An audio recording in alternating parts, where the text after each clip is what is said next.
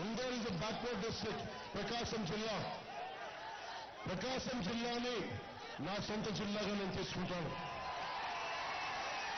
ఎందుకంటే ఇప్పుడు అందరూ దీన్ని వదిలేశారు. స్వయాన తెలుగుదేశం నాయకులు రెండు వేల పదహారులో నా దగ్గరికి వచ్చి మీరేనా మాట్లాడండి అని. మా సొంత తెలుగుదేశం నాయకులే పట్టించుకోవట్లేదంటే అరే మిమ్మల్ని గెలిపించింది మళ్ళీ మీ వాళ్ళు చెప్పడానికి? మీరు అంత మాత్రం ఉండగా మాట్లాడలేని కాడికి ఇంకా మీరు ప్రజాప్రతినిధులు ఎందుకు?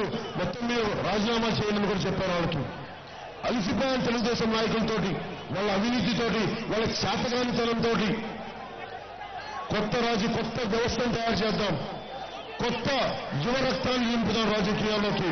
బాధ్యత గల వ్యక్తుల్ని బయటికి తీసుకొద్దాం రాజకీయాల్లోకి అని చెప్పి